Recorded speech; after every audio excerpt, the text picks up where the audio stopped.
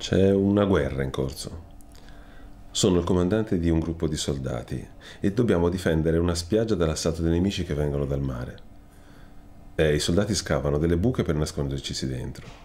Mentre i nemici ci bombardano, vedo che i soldati tracciano nella sabbia con una polvere bianca il segno di una X con un cerchio intorno. Mm, anche per me è stato bello parlare con lei, condividere quel sogno. No, è stato importante per me. Mi ha permesso di capire molte cose. Anzi, volevo chiedere se nei prossimi incontri posso raccontare qualcosa di me, di quando ero bambino.